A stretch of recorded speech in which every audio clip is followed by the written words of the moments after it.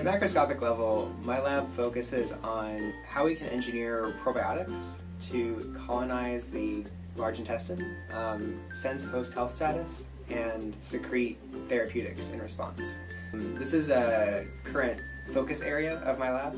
The broader problem that we're trying to solve is that in the past, engineered microbes have been uh, utilized in these very well controlled environments, like a bioreactor or a shake flask.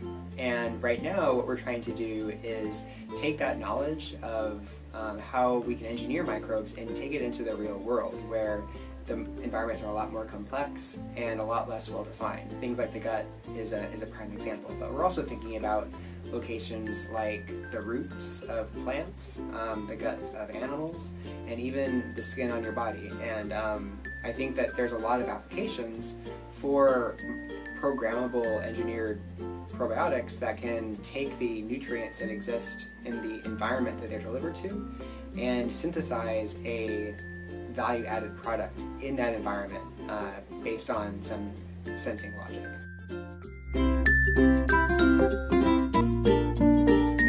My research impacts several broad areas. Right now, our lab is focused on healthcare because of its extreme importance to society. The idea that you can take an engineered microbe, deliver it to a location, and have it utilize those nutrients and synthesize them for a therapeutic response.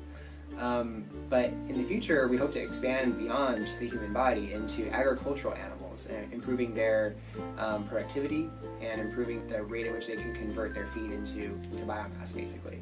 We're also interested in, in agricultural plants, meaning can we engineer microbes that impact their disease resistance and susceptibility to various environmental stressors like drought or, um, or salinity in their environment.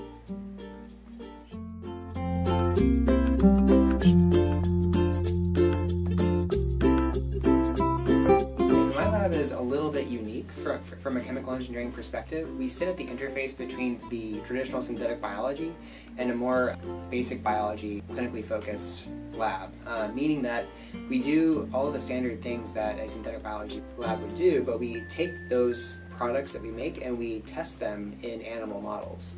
So there's a lot of training that my students get in terms of how to operate and set up an animal model as well as analyze the data that comes out of those animal models. This can include genomic and transcriptomic data. Mm-hmm. I think that that these sort of big data is a little bit new to a lot of chemical engineers and what I do as a PI is try to help them and sort of wrap their, their minds around that, that data set and then introduce them to computational tools and that will allow them to make the best use of that information.